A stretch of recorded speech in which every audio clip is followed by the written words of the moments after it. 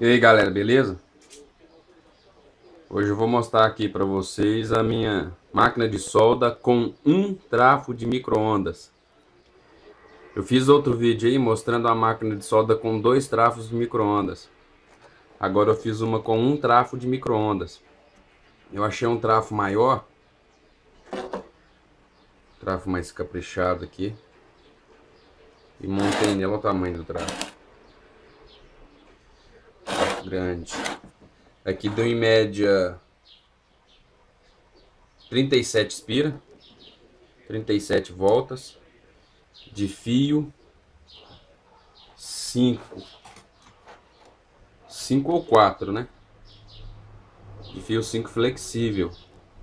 Outra coisa que eu descobri também, gente, que eu tava usando aquele eu tava usando fio 6 além de dar menos espira, esquenta mais do que o mais fino, que é o 5. Então, se caso vocês forem fazer, eu aconselho vocês a usarem o fio número 5 ou 4, porque ele aquece menos, você consegue dar mais espiras e, consequentemente, aumentar mais a amperagem da máquina. Aí eu vou dar uma demonstraçãozinha dela em funcionamento para vocês. Aí galera, a máquina de solda ligada,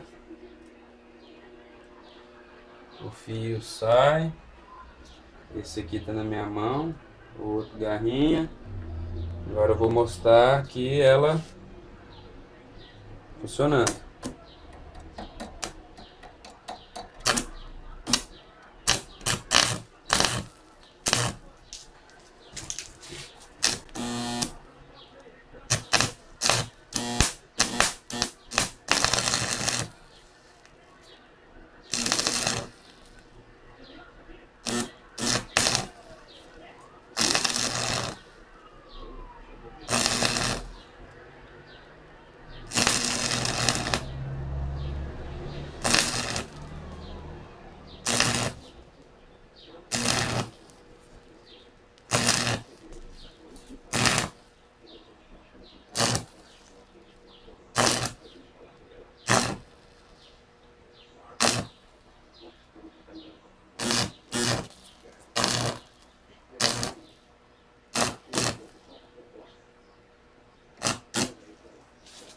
Aí galera.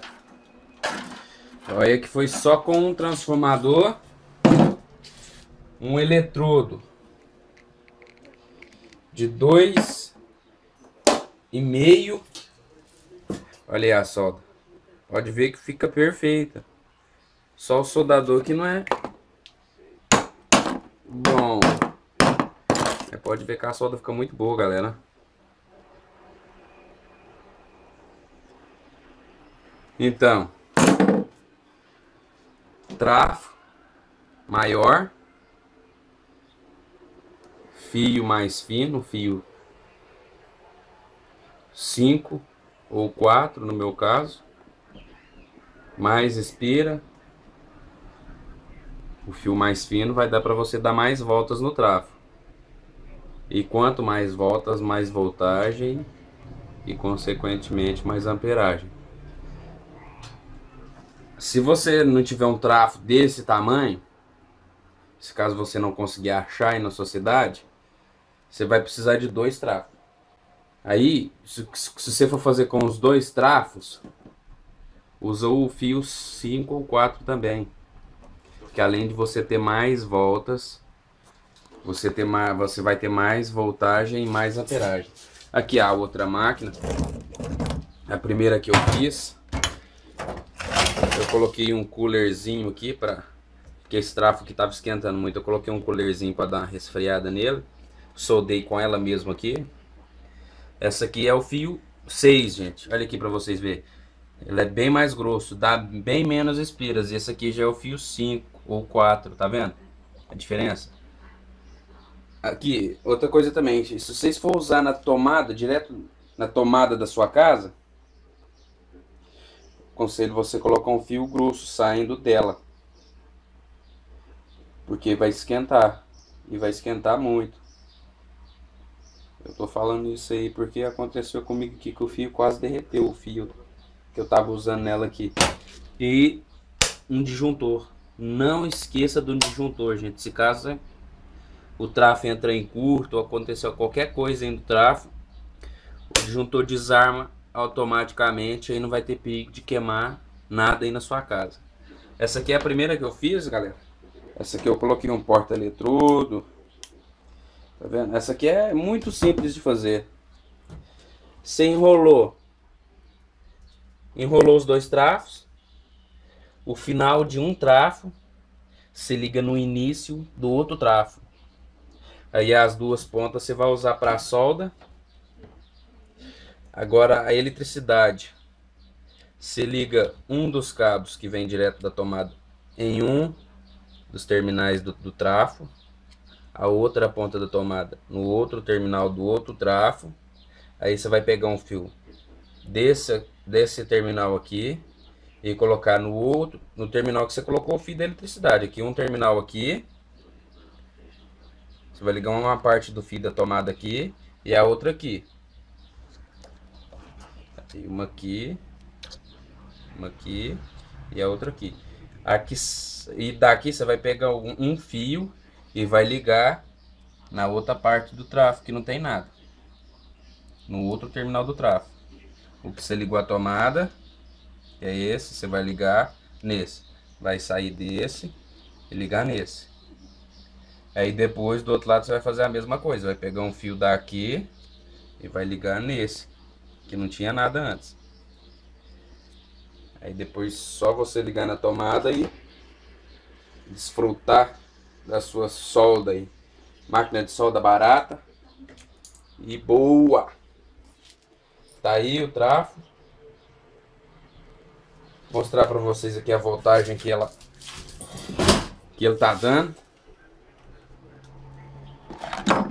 Vocês veem que não é mentira minha.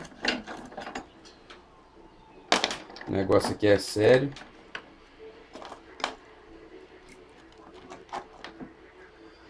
Deixa eu ligar o tráfego aqui na tomada. Gente, eu tô sem pedestal aqui, tá? Tô tendo que segurar com a mão e tá dificuldade para ligar a tomada aqui só com a mão. Agora vamos colocar aqui na escala de corrente contínua, porque não está retificada ainda a nossa máquina de solda. Vamos pegar a ponta do fio dela. Aí galera, o trafo ligado. Aqui um dos fios brancos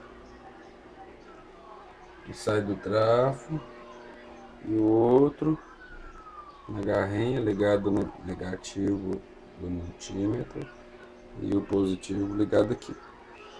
Tá dando 36 volts.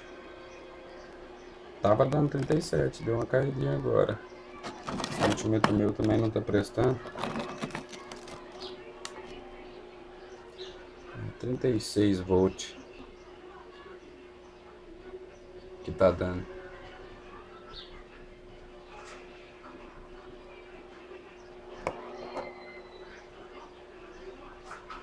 É isso aí, galera. Se gostaram aí, favoritem, dê joinha e divulga o vídeo aí, beleza?